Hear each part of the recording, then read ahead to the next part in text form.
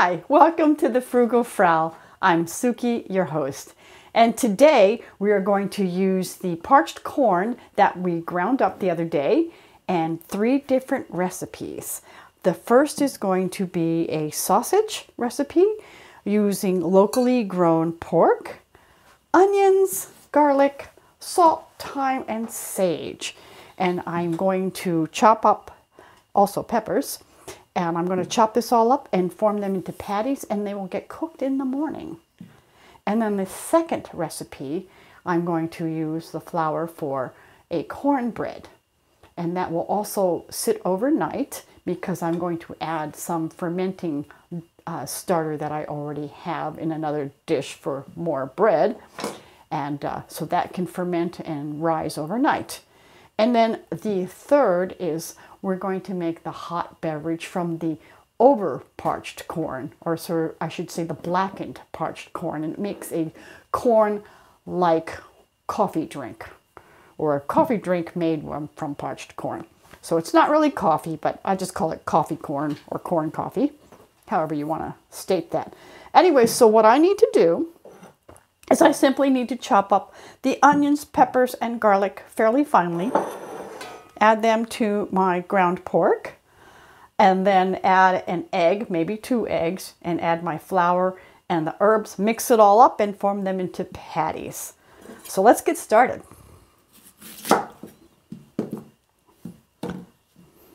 So I have a nice Stuttgart onion for my root cellar. And I'm simply going to chop this up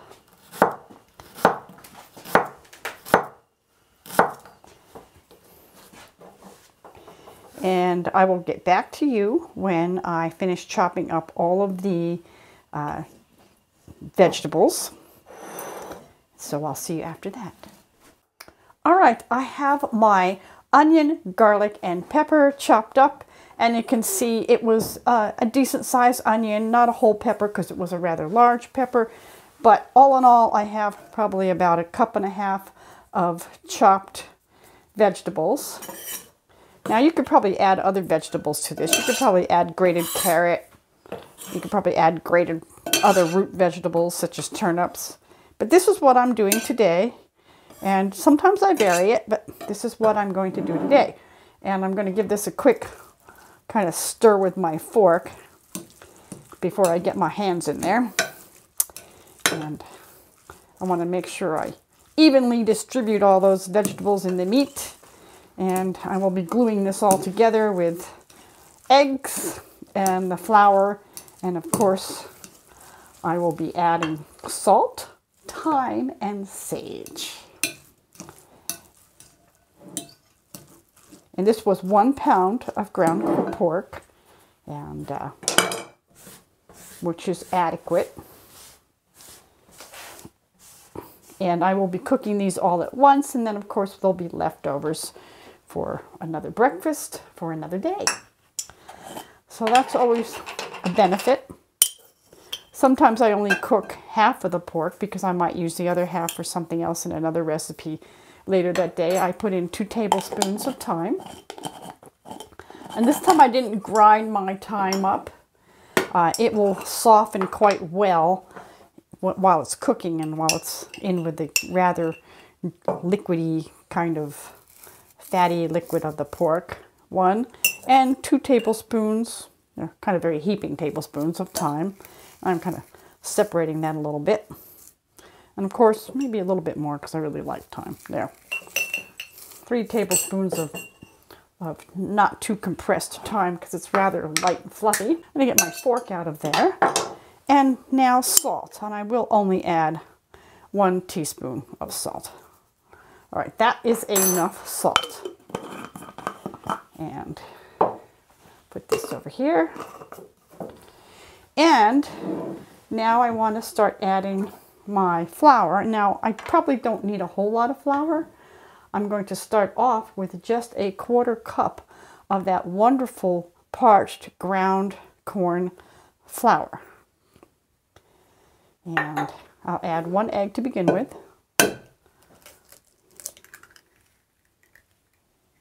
There, thank my chickens. Maybe that was one of Henrietta's. I don't know which one it is. They're all uh, Buff Orpingtons. I can't really tell them apart.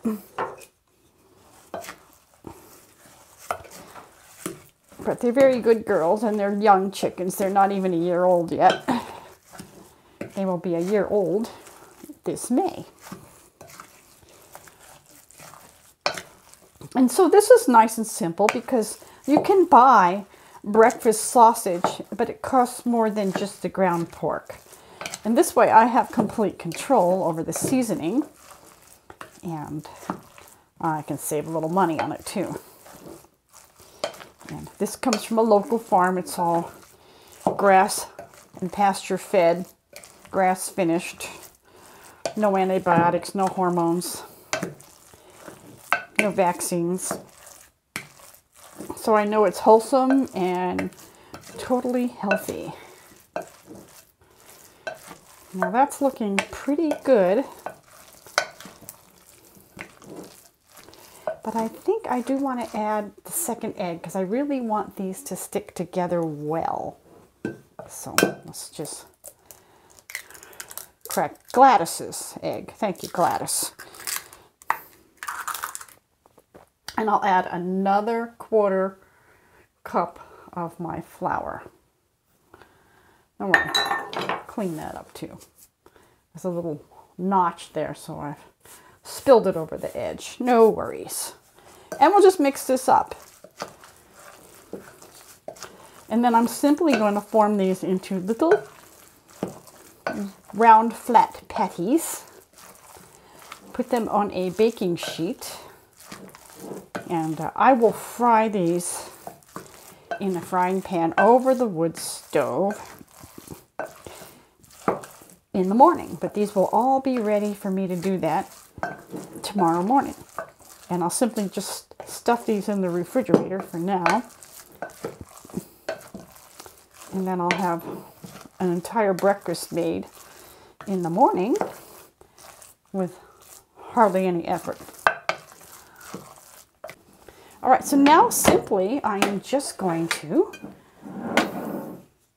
get rid of that spoon, put it here, and I'm just going to grab little bits at a time and probably just slightly less than a golf ball, I think, size. I don't know because I've never played golf. I don't think that's something that I would ever do, but some people like it. And these will get nice and firm overnight in the refrigerator. And then it'll be very easy to cook these in the morning. Okay, I have formed all my sausage patties and put them on this tray. And it looks like I have, let's see, this is a dozen, 26. So just over two dozen out of one pound. So Okay, I have here, uh, I just, a couple little things.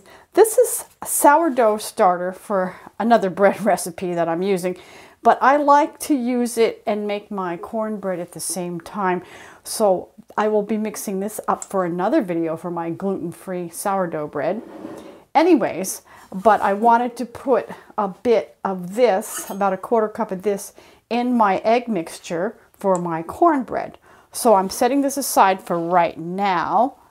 And uh, I want to get my eggs cracked. I have a half a cup of butter, three eggs. Yes, it's a lot of people would probably only put one or two eggs in this, but I always put three eggs in because I want the extra protein in my bread. And I just want a higher protein bread. And it just gives it a nicer texture since I'm using some pretty coarse flour, which is my parched corn flour here. And I have oat flour if I need it, and corn masa, which I did buy from uh, Azure Standard because I'm currently not making my own masa. And so what I'm going to do, I'm going to mix my dry ingredients first. And so I'm just going to use the standard one teaspoon of a baking powder. One teaspoon of salt, And again, I never use iodized salt because I am also putting sourdough in here and the iodine would kill the culture in my sourdough or at least thwart it from reproducing as fast as I would like to. And then I'm going to mix, this is a quarter cup measure. I'm going to mix just about a half a cup of the parched corn flour into the salt and baking powder just so I make sure that I eventually get this all evenly distributed amongst all the dry ingredients. So since I'm going to use the same whisk for the wet ingredients, I'm going to do the dry ingredients first. Just makes more sense that way. Okay, it looks like my salt and baking powder are very well incorporated. Now I'm going to use my half cup measure.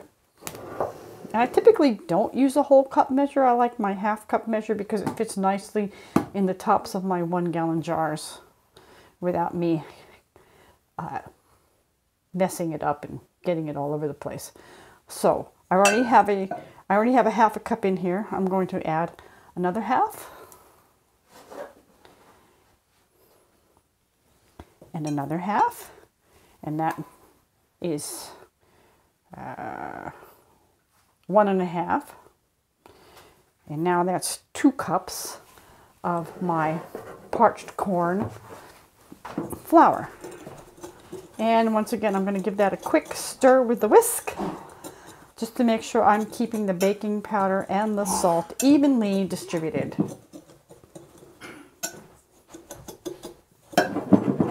So I will be adding altogether probably three and a half to four cups of flour to this. Now I know this is a quite uh, coarse flour compared to the oat flour or the corn masa. And so in order to help this stick together, I'm going to add some of the corn masa. So let me add probably about a one cup of corn masa. What I'm going to try to do is try to make this without any oat flour. And, uh, but you could do that if you wanted it, because I really want the corny flavor. Oh yeah, that was supposed to be funny, but... But I'm trying to make sure that the predominant flavor is of the parched corn flour because really it has a much more complex and interesting flavor than the corn masa. So I have probably about three cups of flour in here now. And I'm just going to set that aside for a moment and get my wet ingredients mixed together here. So I need to crack my eggs. Let's see, we got marigold, petunia, and cosmos. Oh, okay, gave them all flower names.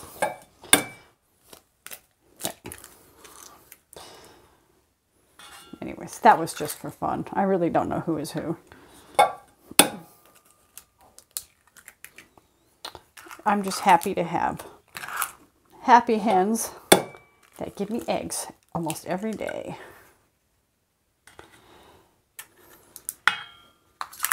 All right. I'm going to whisk those eggs quickly together.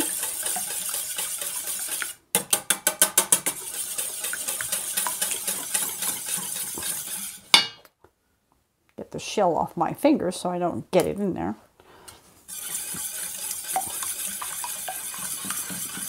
And then I have a half a cup of melted butter, which I'm adding also to that.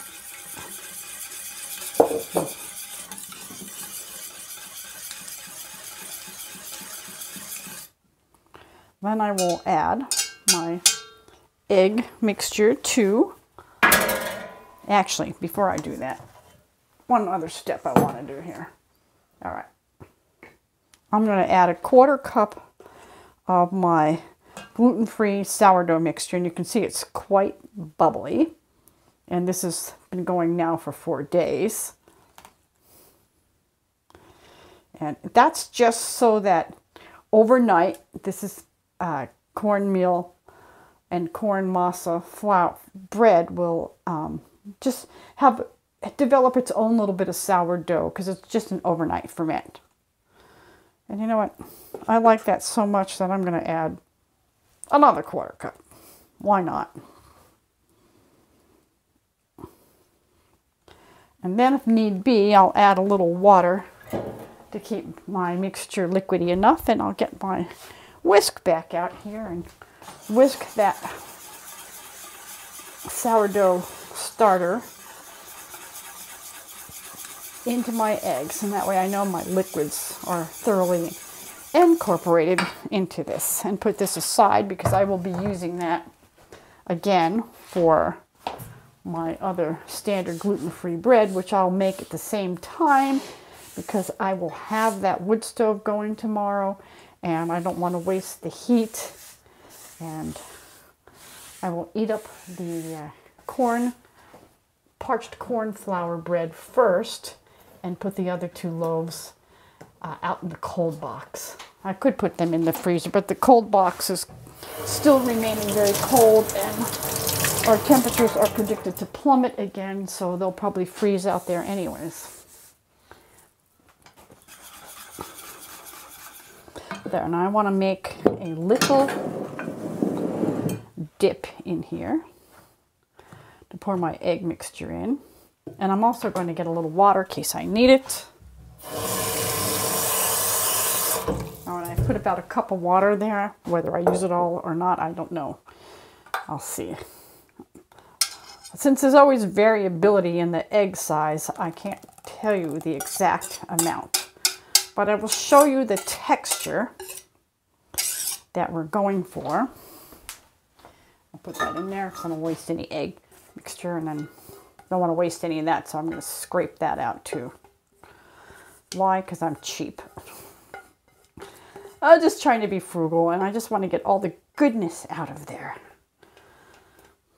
Alrighty that in the sink and let's mix this up.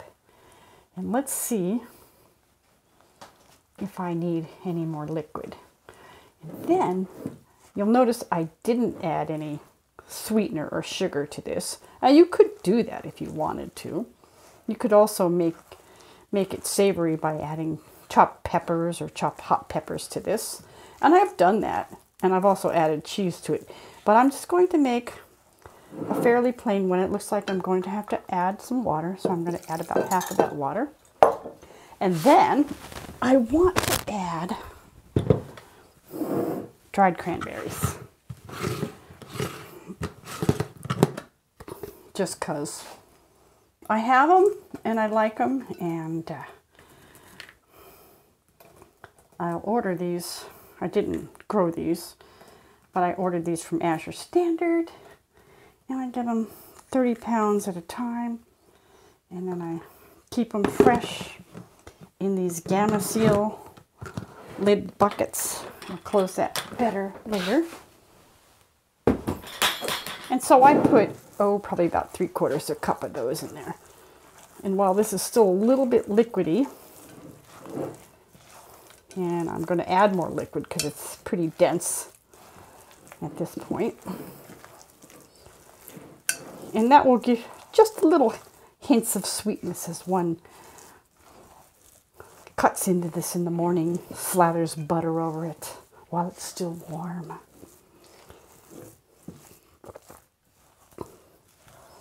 And this will be eaten tomorrow along with the sausages that I made. So I can tell you, it has just a wonderful smell because of the parched corn. And you can see it's too dry, so I'm dumping all the rest of the water in. So that's a total cup of water, three eggs, three cups of flour total, and half a cup of the starter.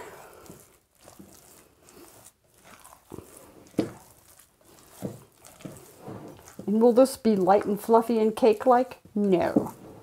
This will be rather dense, but what's nice is that is when I cut it, you know, after the first day, I cut it and then I cut it laterally and then I can toast the two lateral sides that are cut in a frying pan and that's really quite nice. And by laterally, I mean if I take the wedge and I cut it like this.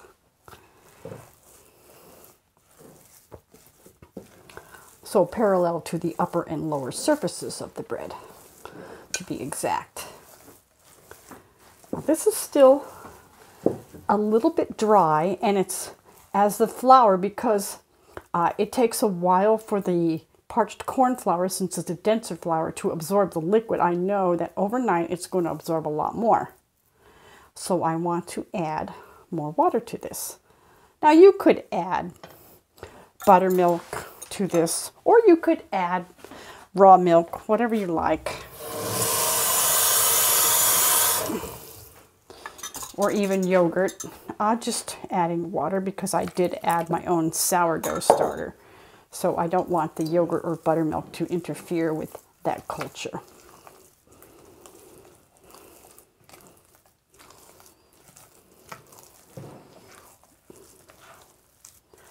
So this is looking real nice now. And what I'm going to do is grease a cast iron pan. I believe it's a 10 inch. And then let this sit overnight on top of my wood stove, which is slightly warm at this point. And this will just make a wonderful hearty bread for the morning. There. Now, I need to grease my pan. And wipe my hands off, of course. Okay. Now, okay, my assistant has a tape measure so I can tell you exactly how big this pan is. Yes, it is considered to be the 10 inch pan. The inside diameter is pretty much exactly 10 inches. So it is a 10 inch pan. Thank you. Now, I need to grease my pan. I did not bring a second spatula down, so I'm going to have to use this one. And I'll just wipe it off really well in the sink, preserving as much of the goodness there as I can because I don't want to waste it. So let's just clean this off real quick.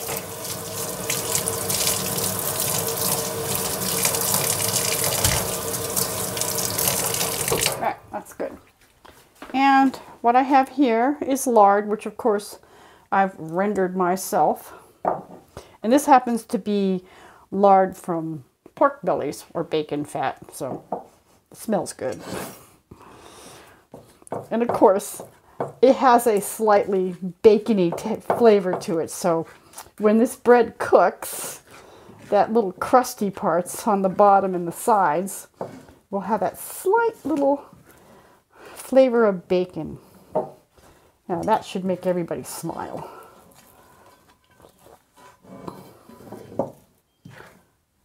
There, I will grease it. And uh, that's good. Put that in there. And then I just want to spread my bread out.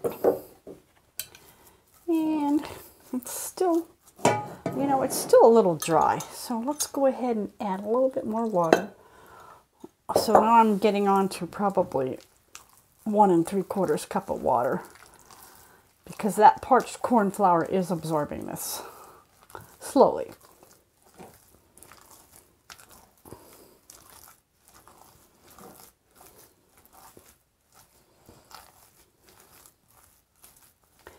And because every grind is different, this is just something, if you're grinding your own, you have to experiment with because every grain is different.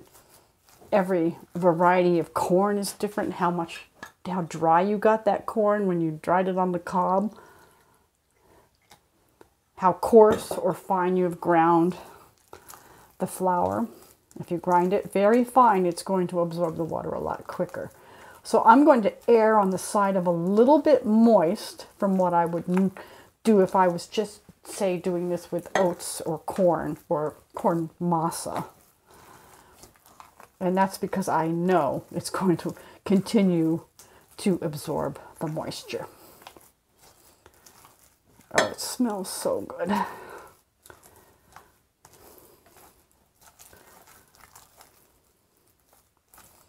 And a tiny bit more.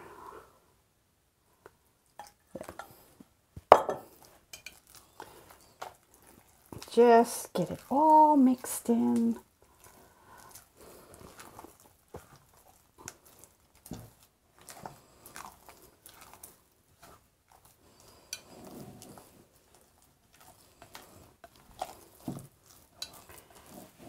Now I'm going to put it in my pan. Ooh, someone didn't mix this well enough. That's okay, I'll get it mixed in the pan here.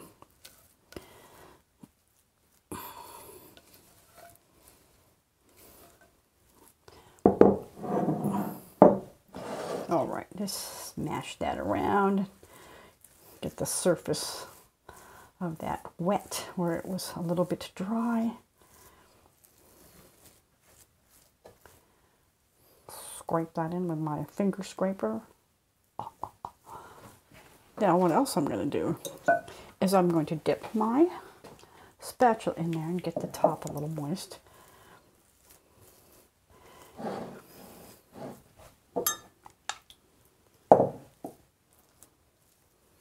And that's just so I can spread it around a little more evenly.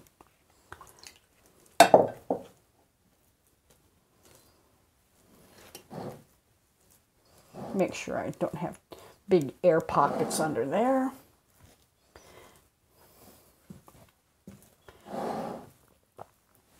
And then, just to be artistic, I'm going to take my spatula and make a little kind of ray design around the entire perimeter of this.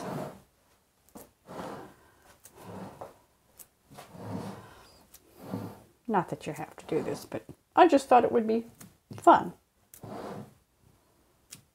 Now it'll, if I just do a little crosshatch, it's kind of like a flower there.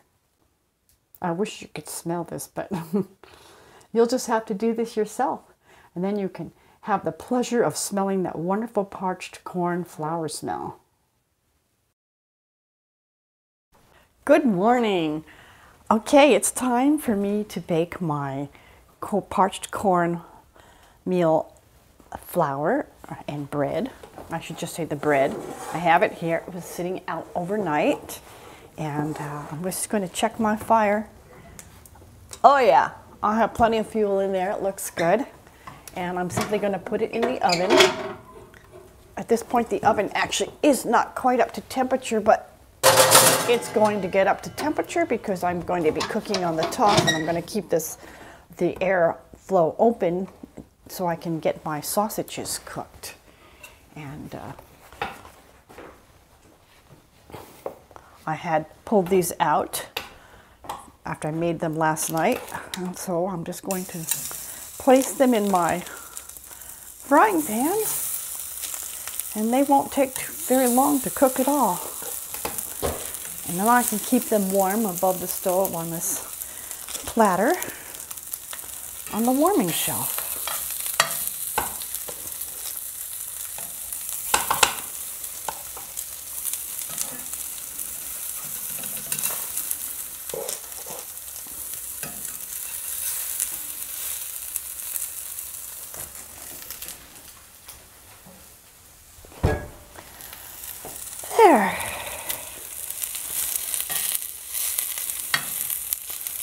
It's a cold morning and I'm glad to have my stove running. I've already poured my tea for myself and coffee for my husband and mmm. That first cup of tea seems to be the best one every morning. Get there. And I simply have to cook these. All right, I'm on the last little batch of sausage here and they're just about ready to come out of the frying pan. My bread is still cooking in the oven, but I'm going to check it in a moment. And uh, take these out.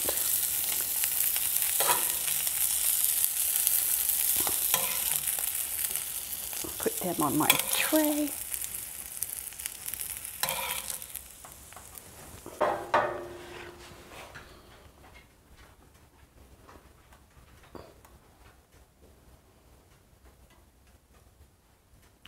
All right, I've taken my bread out of the oven and uh, it looks beautiful. And I'm very happy that I added the extra moisture to this when I was mixing it up because I suspected, and I was correct, that the parched corn flour, which is a bit coarser than corn masa or the oat flour that I also put in, would absorb a lot more of the moisture, and it did. But I still have a fairly moist loaf, which is nice. So let's just pull out one piece, if I can get this out without breaking it. Maybe I have to get two. Oopsies. And uh, give a, a nice look-see on that. Another plate here. Let's see if I can get this out without breaking it. I always hate getting the first one out because it's a little hard. Oh yeah, that is like super lovely. My sausage and bread are done. Bon appetit.